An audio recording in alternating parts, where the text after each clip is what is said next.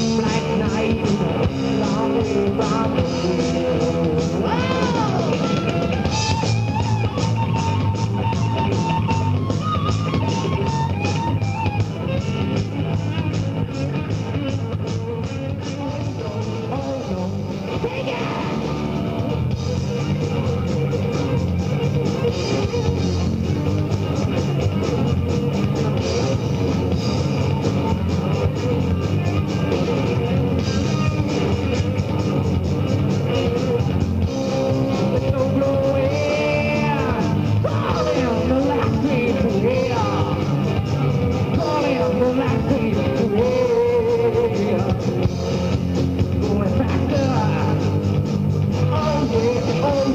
We take the fight to the drill.